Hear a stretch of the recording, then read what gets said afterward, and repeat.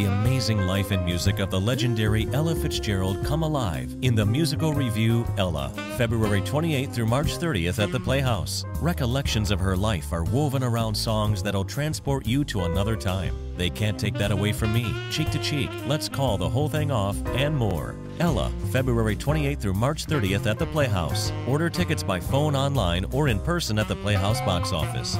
The Omaha Community Playhouse. Find your stage.